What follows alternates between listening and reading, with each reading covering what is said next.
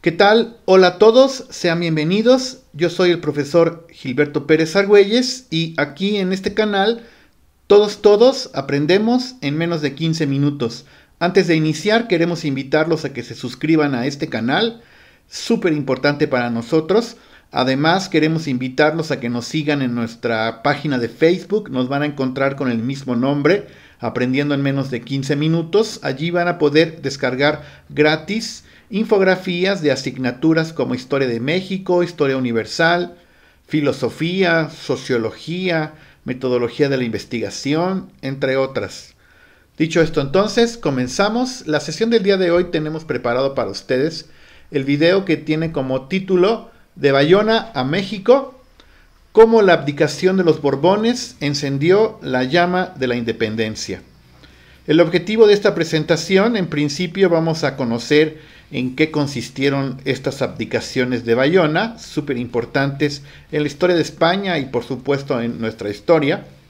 Además vamos a exponer los principales eventos de estas abdicaciones y eh, también al mismo tiempo vamos a identificar algunas causas y consecuencias que tuvieron la renuncia de los reyes de España en aquellos momentos, en aquellos tiempos. Comenzamos decir en principio que cuando decimos abdicaciones de Bayona nos estamos refiriendo a un conjunto de renuncias forzadas bajo la presión de Napoleón Bonaparte.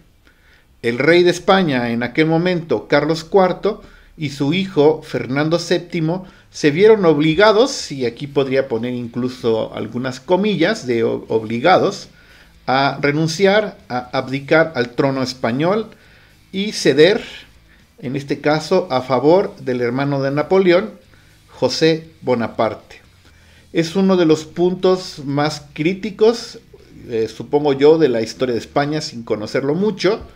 Y bueno, esto va a tener especial influencia en nuestro país. Estas renuncias, de cierta manera, fueron obligadas, es lo que dicen algunos autores, en un momento en el que, eh, en este caso, España eh, va a ser invadida por Francia y entonces son las abdicaciones de Bayona. Aquí tenemos la imagen, en este caso, de los hermanos Bonaparte que estaban teniendo el control de muchas partes de Europa en aquellos tiempos. Causas. ¿Qué fue lo que causó las abdicaciones de Bayona, estas renuncias?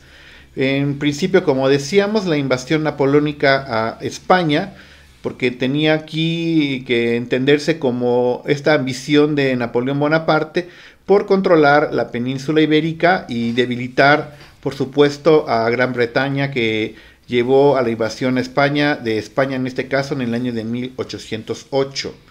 También fue un poco de engaño porque al final Napoleón en principio solo pidió permiso a la corona española para poder, en este caso, atacar Portugal y poner una especie de cerco entre Francia y la Gran Bretaña, que tenían algunos problemas en aquellos tiempos, y entonces eso va a desatar, por supuesto, una crisis política.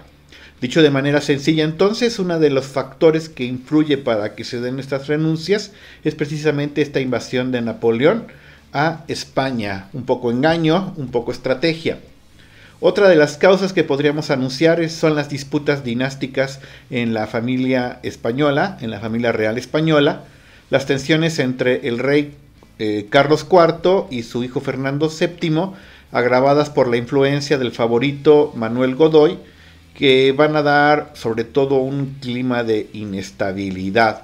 Por ahí es acusado Carlos IV de ser un mal gobernante, en este caso por ahí también se tiene la situación de Manuel Godoy que estamos observando en esta litografía como un personaje que trabajaba para la familia real y que tuvo ahí especial influencia, ¿no? Y que se consideraba prácticamente como el favorito de Carlos IV porque al parecer él prácticamente tenía pues digamos esta situación de decidir en algunas situaciones. Vamos a ver algunos eventos, cómo se dieron estas abdicaciones de Bayona. El primer punto se llama el viaje a Bayona. Ante el avance de las tropas francesas, la familia real española se vio obligada a trasladarse a la ciudad francesa de Bayona, donde precisamente se van a dar estos acontecimientos, estas renuncias de, en principio, el rey Carlos IV y Fernando VII. Entonces, una vez que los franceses comienzan a ocupar el territorio español, la familia real, este, lejos de defender su patria o su territorio en aquel momento, pues decide eh, irse a instalar a una población en Bayona, eh, de Bayona, se llama así, en Francia. Otro punto importante de esta situación obviamente son las presiones y amenazas. En Bayona, Carlos IV y Fernando VII fueron sometidos a fuertes presiones por parte de Napoleón, quien buscaba controlar el trono español y en este caso, por supuesto, pues quedan ahí algunas cuestiones de tal vez considerar que, pues yo leía algunos puntos donde parecía que Carlos IV y Fernando VII parece ser que no opusieron mucho resistencia, como que no se resistieron mucho y que resultaron ser muy débiles ante las presiones de Napoleón Bonaparte. Entonces ahí el pueblo español de repente se puede portar muy crítico ante la postura de estos dos monarcas que pareciera que con facilidad renuncian al trono para cedérselo al hermano de Napoleón. El tercer evento obviamente ya son las abdicaciones en sí, el momento en que se dan estas renuncias, la litografía trata de ilustrar ese momento y bajo coacción tanto Carlos IV renuncia a Carlos IV, cede, abdica a favor de Fernando VII, y en ese momento Fernando VII eh, abdica a favor, en este caso, de el hermano de Napoleón Bonaparte, José Bonaparte. Y entonces los dos renuncian a sus derechos al trono español en favor de Napoleón. ¿Qué consecuencias tuvieron esto? Principalmente aquí estamos enfocados a ver las consecuencias en el caso de nuestro país, aquí en México, pero obviamente tendrán eh, a nivel, digamos, continente americano y Europa especiales consecuencias. Por ejemplo, las abdicaciones de Bayona pues van a desencadenar una guerra de resistencia en España, donde entonces pues tenemos esta situación donde el pueblo español se une pues para intentar correr a los franceses. Esta guerra es conocida como la guerra de la independencia española y entonces esa va a ser una consecuencia. La renuncia provocó que la población se uniera y comenzaran a tener esta posibilidad de retirar a los franceses de su territorio.